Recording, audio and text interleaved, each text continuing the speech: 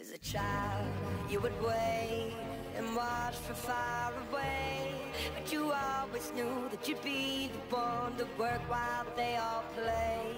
And you, you'd lay awake at night and scheme of all the things that you would change. But it was